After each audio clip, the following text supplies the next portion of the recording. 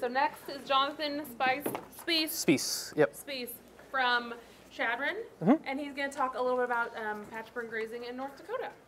Yeah, hi. Thank you all for, for coming out today. Uh, this is a kind of overview of some of the, the, the work that I did when I was doing my PhD at North Dakota State University in the southwest part of North Dakota. Uh, the other kind of authors on the talk are, are all my committee members while I was at NDSU. I also like to, I guess, a quick shout out to my field research technicians. I did all my uh, field work by myself in 2017, and they were able to find some money for technicians in 2018. I don't know why that's auto going. Uh, 2018, 2019, 2020 to help me collect more data. Uh, so Kelsey Morton, Sam Smith, uh, Simone Jarvis, and Fran Bowman. Uh, so our main kind of challenges or why we were interested in patchburn grazing in North Dakota, one, it's just a different environment than where it's mostly done kind of in the rest of the Great Plains. Uh, there are kind of some of the main kind of issues for, especially in the southwest part of North Dakota, is we have a lot of introduced cool season grass uh, plant communities that were either introduced intentionally for forage things like intermediate wheatgrass or used for CRP plantings, would be like alfalfa and yellow sweet clover. Right, and we also have this additional invasion of smooth brome and Kentucky bluegrass across most of North Dakota and elsewhere in the northern Great Plains. Uh, when I teach plant ID now, I get those plants in class, I call them like the unofficial grasses of the northern Great Plains because they're just kind of ubiquitous and they take over these, these rangelands uh, in this area uh, and kind of shade out some of our, our some of our uh, plant- plants that were there traditionally. Uh, so these novel plant communities have like kind of major implications for livestock production and biodiversity conservation. And when I get to talk to, to ranchers in southwest North Dakota, one of their main things to talk about, like they're not necessarily trying to get rid of those plants because they let them almost they increase their stocking rate. They're able to uh, increase their livestock production side of it. That does come at the expense of biodiversity kind of conservation. We have a very homogeneous plant community uh, left at landscape. So one of our kind of interest things like if we use patch burn grazing, can we kind of increase structural heterogeneity uh, in, in these kind of lo- lo- lo- lo- lo- lo- lo- lower diversity grasslands that we have? Um, another kind of ma- main challenges kind of prescribed fire is a very uncommon practice on private ra- rangelands across North Dakota. Uh, when I looked at it in 2020, I don't think NRCS in North Dakota had spent any money on cost share for prescribed burning. It was pretty much all cross fencing. Uh, one of the other uh, gr- gr- grad students in, in the lab I was at NDSU, she's finishing up her master's right now looking at some of the more human dimensions side of that. Uh, I think she has one or two papers out uh, in submission uh, for, for looking at some of those human dimensions parts of fire in North Dakota. So Au- Autumn Clark is her name. You can keep a lookout for those. Uh, this is kind of what a lot of our non-patchburn grazing uh, grasslands in the area look like. They're dominated by smooth brome, Kentucky bluegrass, this one in particular. So it's a very homogeneous plant community across. Your kind of only kind of uh, variation in structure comes on the buttes where the native plants still live. So like uh, the northern mixed grass prairie in the area should have a lot of uh, some gramas, uh, some blue stems, some wheat, wheat, wheat, grasses. I bet the only time I find those is when I'm on top of a butte. Uh, everything else is kind of smothered by these like three or four introduced cool season grasses. Uh, so our kind of main research goals was like, 'cause when you talk to people like, oh, you can't do that in North Dakota. I was like, well, did you try? And they're like, no. Uh, and it's like, well, that's kind of our thing at the Extension Center was trying to get a baseline. If somebody wanted to try this, what would it look like? Uh, kind of a, a baseline, uh, the kind of standard, uh, we did a f- f- four, four patch uh, pasture uh, burn cycle. Uh, and kind of over time, what would that look like? Uh, how does that compare to other parts of the Great Plains or elsewhere they've done patch burn grazing? Kind of as you move patch burn grazing around, there's always some parts of it that don't work as well as in other places. So when you try to get a baseline understanding of what does it look like, uh, I, I mostly looked at veg structure and community composition, of the forage quality part of it, and grazer space use, and then uh, when we talk to the ranchers, they're more in the livestock weight gain side of it. Um, so I did, did some stuff with that. I did body condition score also for the cows. It's a little harder to do that for sheep when they're out on pastures. So I, I, I did that. I don't have that in the data today, but I can talk about that later. And then the other kind of big thing comes up is the kind of soil health and like, oh, if you're going to burn it, you're going to you have tor- tor- terrible soil moisture. Uh, you're going to kill the, or the soil microbes and soil nutrients. So I was like, we got very interested in that. We measured a lot of that, and we have some cool stuff uh, to show from that here at the end. Uh, so where uh, Hettinger is the southwest corner of the state. Oh, that is a weird color. Okay, it looks a little different on my screen. Uh, but uh, for, for Hettinger, the southwest corner of North Dakota, it's right on the South Dakota uh, North Dakota border. Uh, there's another project uh, that I'm not going to talk about too much today in Streeter, but for Hettinger, it's about a 14 inches annual rainfall. It's a very semi-arid area. Nor- nor- northern mixed grass prairie is what it's supposed to be. Uh, with the intermediate wheatgrass, though, we'd sometimes get plants that are like a meter and a half to two meters tall in the unburned areas. So it's, it's not quite a short grass or a mixed grass. It's, it's sometimes it looks almost like a tall grass if you let it go for a while. Our main experimental setup at Hettinger is comparing a patch burn with sheep as the main grazing component versus patch burn with cow-calf pairs. So like the Hettinger Extension Center is mostly a sheep uh, ranch. They have about 2,500 sheep. That they go around and do stuff with, and the, the, the cows that they have there are to help the range people uh, help us tie into uh, other people across the Great Plains for that. Uh, all the pastures were previously enrolled in the Conservation Reserve Program in the 80s, so they were planted with the intermediate wheatgrass alfalfa mix initially, then, then invaded by smooth brome Kentucky bluegrass after that. So it looks like a lot of what the area around us looks like. So it's not we have some of the native plants still there. They're just in very small amounts. Uh, so being the semi-arid part of the Great Plains, uh, we have uh, you're to expect a lot of variability in precipitation, and that was the case for our study. Uh, kind of the, this black line uh, here is the, the 25-year average over the 95% confidence interval. Uh, two of our study years, 2017 and 2020, were a drought. They were a little under half the, the rainfall during the growing season. 2018 was the opposite. It was almost double our annual rainfall.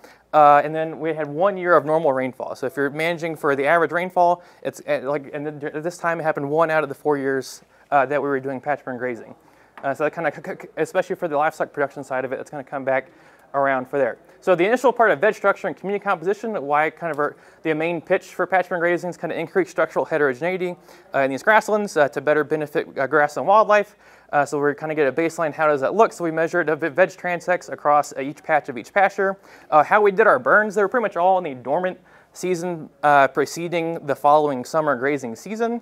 Uh, so that's what the little dates are. I'm going to use the same map with different little dots for where we sampled them. So I'm not going to spend too much time so we can get to the results. Um, but we measured a lot of vegetation structural characteristics. I'm mostly going to talk about uh, visual obstruction or VOR reading for our main structure. Then we measured the tallest living thing and tallest dead thing. Uh, if you're comparing recently burned to other areas, your tallest dead thing should be very low than recently burned, or sometimes a zero, because you had a good fire and everything got nuked. Um, and then, especially this, the third one, li li li litter depth is very important. Uh, if you have a lot of bluegrass invaded areas, bluegrass, Kentucky bluegrass can make a very thick litter thatch layer. If you look at the ecological sites for North Dakota, a lot of them say like, oh, you should expect one to two centimeters if it's the native uh, plant community. I had a lot of sites where I was taking like 15 to 20 centimeters of bluegrass thatch, and so you're trying to, we're trying to punch a hole in that to allow some other plants to come back up in there.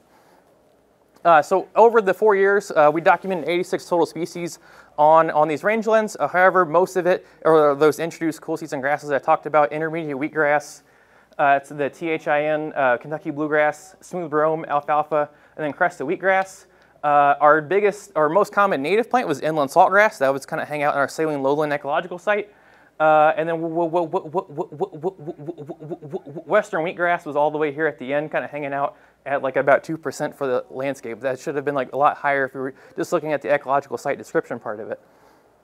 Um, so how did it look for structure? Well, it, we got pretty much exactly the structure gradient. A lot of our stuff we're interested in is the time since fire gradient. How do these patches on the landscape that we had in the map, how do they look different from each other? How do they look compared to when, before this pasture was burned? So any of my slides that have a not yet burned, that's kind of the thing as we progress through this cycle, uh, that was the area that had previously had not be, not yet been burned, but had received kind of continuous grazing pressure prior to before we implemented patch burn grazing. So for every structure variable we measured, time since fire was the significant predictor variable. For none of these structural variables we measured, grazer type was important. So structurally, uh, the sheep version of patch burn grazing and cow-calf patch burn grazing were identical from a structure standpoint, from just like how are the arrangement kind of uh, abstracted from plant community composition um, they, they, they, were pretty identical for that. Uh, so for VOR, for uh, max live height and max dead height and li li li litter depth, we all had recently burned patches being lower.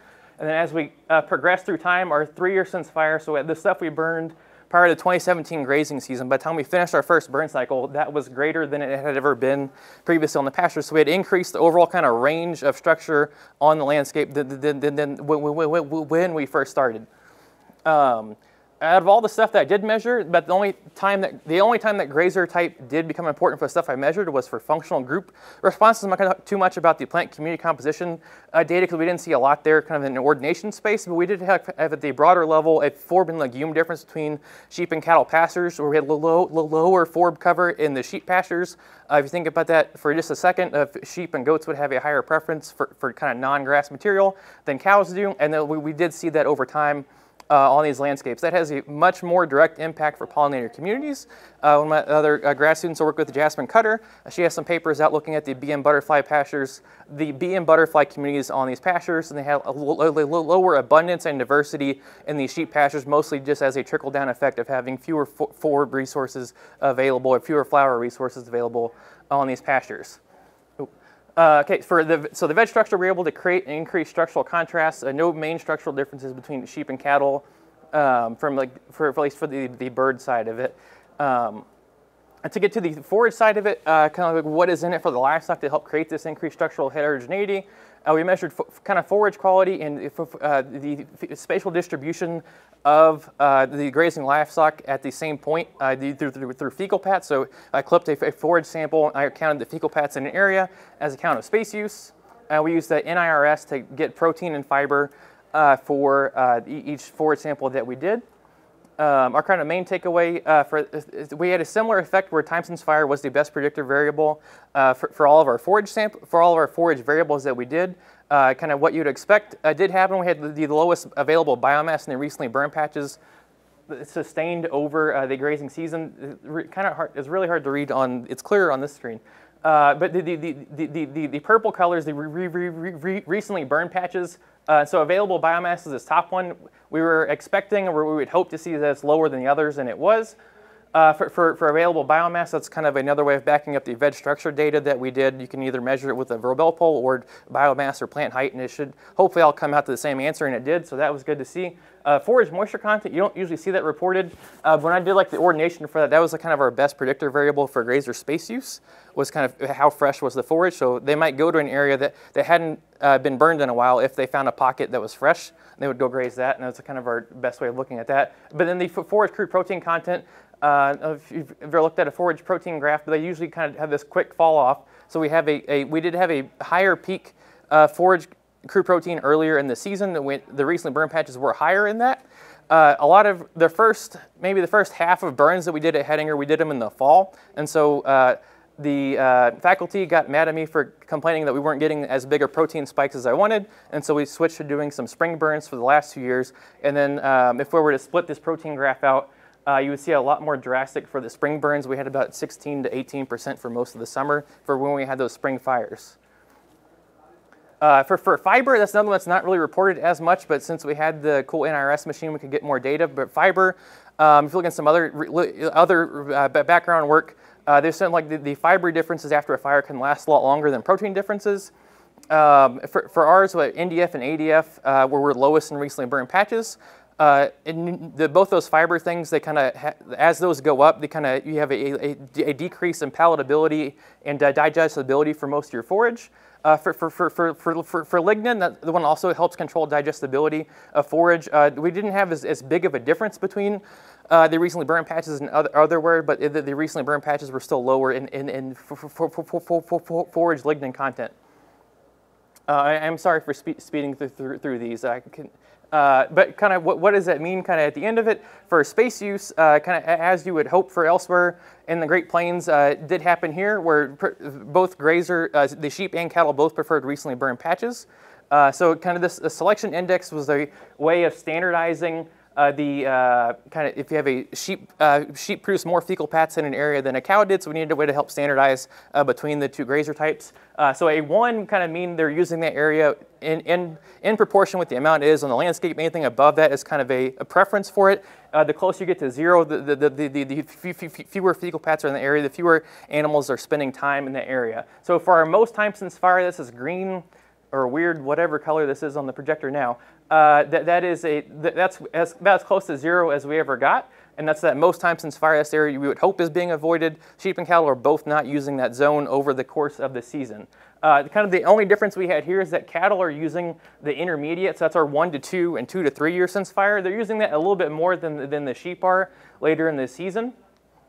Uh, but kind of a, across the board, they had a higher preference for recently burned patches over the four years that we did that. Um, and for what does that mean for livestock weight gains? Uh, this is kind of the kind of chasing the dragon of sustainable livestock production. Uh, kind of the in what ranchers would tell you in there. Oh, I want to have consistent weight gains. Uh, but then normally when you're doing a rotational system or a continuous grazing, your livestock weight gains are directly, like very tightly tied to precipitation. Uh, we did not really see that at all. Um, kind of our biggest uh, difference that we had, we had a divergent weight gain in 2018. That was our normal rainfall year. Some of that for the cow and calf, we had this big split from our average line. Uh, some of that is due to herd turnover. Uh, we had like eight cows of our 68 uh, that were over 2,000 pounds in our 2017 drought, and those were our only eight cows that lost weight over the course of the study, and that was that one summer they did. Uh, those went on to greener pastures, and we got some a lot younger heifers uh, in for that. Uh, we had eight new younger heifers in 2018. I don't think that explains all of that divergent uh, weight gain we had there, uh, but for the rest of the study, we had very consistent weight gains. the 2016 to this left, that was the year before we had patch burn grazing, so it was a mostly normal rainfall year without fire um, that we had there. Okay, on uh, to the, uh, I'm going to skip ahead to the soils here so it don't run too far past our time. Uh, and that way if people have any questions. Um, but for the soil side of it, uh, when we're talking to people like, oh, well, what does that do for soil health? Uh, does creating above ground heterogeneity, does that come at the expense of below ground soil nutrients and microbes? Um, when I took a class, I was getting very interested in that. And like my initial expectation was I was going to be talking about, okay, if we do have a dip down in our nutrient pools or microbes for that first year, does that come back? I was expecting that was the story I was going to be writing for the intensity gradient. I was be following it like that. Um, we'll get to see some cool stuff here in a second, but we measured it kind of the same spatial scale we measured everything else, patches of each pasture, and looking at ecological site. Uh, we looked at, um, we used a PLFA, phospholipid fatty acid analysis for our microbial uh, to, to, look at the soil microbial abundance. Uh, we also did some stuff with litter bags to look at decomposition activity. Um, I can spend a lot of uh, time going through all of what we've measured and showing you all of that in about 10 more graphs. However, uh, for every nutrient that we measured, uh, there was no negative effect with time since fire gradient. So in, in, no instance was the recently burned patch lower than the unburned patch or the patch with the most time since fire. So ammonium, nitrate, soil moisture, uh, calcium, total carbon, phosphorus, and what else I have on magnesium. Uh, it was all either identical or higher. Um, so I thought that was very cool. Um, and then for, for soil microbial abundance, it was the same thing. So we measured uh, ammonium and nitrate. We did that every month that we did forage samples. We did uh, ammonium and nitrate and soil moisture during that time. Uh, some of these other ones we did just one time during the summer. Uh, so as kind of being a grad student, we have a, a, little bit limited budget to do all of the cool things we would like to do. I'd like to have measured some of these more uh, than that. But uh, none of them came back with the, the recently burned patch being lower than anything the other, the most time since fire or the unburned patch that we did. Uh, so it's kind of a weird thing. Like it's one of the rare instances like no effect is a good thing. Uh, so if you have there was you just recently you burn this area, cows or sheep graze the hell out of it for a summer, and it just did not matter. The sheep, the, the, the microbes were fine, the nutrients were fine, um, and soil moisture was fine. Uh, so who is in the microbial community? It's pretty much all bacteria or they make up the biggest proportion of most of these uh, rangeland soils. Uh, kind of across North Dakota from one of my other uh, uh, committee members, Caley Gasch, a lot of her other stuff did the same thing of like it's mostly bacteria in these rangeland soils. Uh, soil fungi, I was expecting them to like take the biggest hit uh, with fire because they're a little more sensitive. And instead they just kind of increase in the most time since fire. Um, uh, like my biggest explanation for that is if you have more litter accumulated in those areas that fungi are a little better able to use that material. Um, but also our community composition did not really change very much. Uh, and then I have, uh, I'm going to use a little bit of my uh, time here to talk about the study that we did uh, with uh, just like five miles down the road, uh, where we did a little bit more intensive soil sampling on the microbes and the nutrients. this is one just came out in Geoderma. So we studied these soils the day before the fire, we measured them, day after the fire, uh, uh, seven days and then seven months. So I ran out, took soil samples, same spot. We had a uh, area that was unburned, area that was burned, and we did the same soil sampling. We look at nutrients and microbes on that. Uh, what we saw was like for um, for, for nitrogen, uh, we might have a slight dip up to uh, maybe at seven days after the fire, but after seven months, it was higher for ammonium and nitrate. And then for the the, the for the microbial community, there it was about the same thing. We have a one-day dip in soil microbes, by seven days, they were right back to the level they were beforehand, if not a little bit higher. Um, and then for why the reasoning is for like in these rangeland soils that we have there, uh, the soil heating does not go past very much past two centimeters. So if a grassland fire is moving relatively quickly, uh, so you, from a soil perspective, there's like it's not getting very hot very far down in the soil. So you might uh, at worst kill the microbes in that first centimeter of soil, and then they're very they can respond very quickly and they're back uh, to the level they were just before then. Um, so that was one of the, I was expecting going into the soil part of this, hey, it's going to have a big dip and we're going to slowly build it back up over time. So hopefully by the time we get to two years since fire or three years since fire, is it equal to what it was beforehand? Instead, the microbes are like, I don't really care. That's fine. Do what you want to do. Um, So for kind of our conclusions, kind of what we're interested in, like we did kind of increase our structural heterogeneity despite our kind of low diversity plant community. Uh, we did have the, the grazer preference that we were looking for, uh, and these soil microbes and nutrients were very resistant uh, to patch burn grazing. Uh, it's, it's kind of how we did all of our fires. So like the uh, talk the other day, of like who uses uh, mowed breaks versus disc breaks. All of our stuff on the on the Hettinger Extension Center, we did uh, disc breaks to make the, the director happy. He was worried about us burning the town down. That's a mile and a half north of us. Uh, and then, but all of our stuff we did kind of off station. We did was was mowed uh, breaks for that. And I think I have a little bit of time uh, for a question or two. Yeah, Um, you're doing great on yeah. time. So if you've got some producers that are considering or maybe on the fence about adding like goat or sheep to their cattle herd for their, you know, Mhm. Kind of in summation, how would you present that to them or have that conversation that, yeah, that's a great idea and here's what you're gonna do. Yeah, yeah. So for, for adding in like different classes or types of livestock, those one things I was happy when the Prairie Project thing got going. Like I was, uh, like goat is like a dirty word in North Dakota, but like we have these little snowberry shrubs and like they're trying to make cows eat it, and that's not going to happen. Uh, so you just put a goat there, and like you can't say that. It's like okay, well, uh, so but it was like yeah, so if they're, going to eat uh, slightly different things than the cows do. So if you can balance your animal units out, uh, it it'll you'll more if you're trying to uh, increase forage utilization across the landscape. That's a great way to do that is to change up your classes of livestock that you have. Um, if you are interested in, uh, so we were we had the lower forb and legume cover in our pastures. We were we were hoping that we weren't we were going to like convince the sheep to not go into other patches to strip alfalfa down to take all the flowers away. We weren't successful in doing that, so like they're still going to go find flowers. So if you're interested in like a pollinator community, you might be a little more like hands-on with directing where sheep and goats can go. Um, where I went this summer, it was like in Idaho with some like a lot more diverse for- forbs. I'd be interested in like doing any of this fire and grazing stuff where they have a more diverse forb community to see if we can like still keep forbs in other parts of the pasture. But yeah, like they're, they're going to use it a little bit different of the forage resources. Yep. Did Mhm. abundance. Uh, Jasmine Cutter. Uh. Uh, yeah, so uh, the Extension Center, they primarily did like duck and pheasant research. Is like what's their biggest. So like we did not do they did not do as intensive of like grassland bird sampling. My friends at the Streeter Grassland Extension Center, they did a lot more like people out with rope dragging looking for birds. They have some papers on that. Um, the stuff at Hettinger was mostly geared towards uh, pheasants and ducks. Um, I, I think they're in the process of working through the data on that. They did some point count data. I have not heard from them in a year, so I don't know what they're up to. Um, yeah. I, I, I did see a lot of more horn larks in the burn patches, which is like they, they like the lower vegetation. But yep.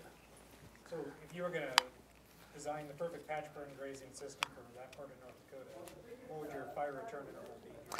Uh, so I would probably go with like a more like adaptive thing where sometimes I might not burn. So like we had a 2020 drought going into 2021, and then uh, Ben uh, he's the director there. He was like, "It looks rough." I was like, "Well, if it's you already have two patches that are like look like they've been recently burned." Like I, it's not great from a science perspective to like not have a fire, but from a management side, you've already got your short vegetation. It's like I would probably like build in a little more adaptiveness to, or even like a, maybe like a five or a six, so that way you have a little, few more patches uh, available. Because we were burning uh, rough like a 160 acre pasture, we were burning like 40 acres at a time. Um, so like at the Streeter one, we did add like a we split it. We had some uh, of the treatments that were like a split. We had essentially eight patches. We did a spring fire and a summer, or like a fall for that.